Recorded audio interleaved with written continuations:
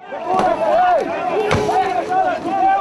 بالغازات المسيلة للدموع فرقت قوات حفظ السلام التابعة لحلف شمال الأطلسي مئات المتظاهرين ممن حاولوا عرقلة عملية إزالة حواجز الطرق والمتاريس التي نصبها صرب شمال كوسوفو على مدار ثلاثة أشهر لمنع أفراد الأجهزة الأمنية التابعة لسلطة حكومة بريشتينا من الوصول إلى معبري برينياك وياريني. خطوة قوات حفظ السلام أتت بعد أن وصلت المفاوضات بينهم وبين ممثلين عن الصرب الحرب بشأن إزالة السواتر الترابية وفتح الطرق المقطوعة في شمال كوسوفو إلى طريق مسدود.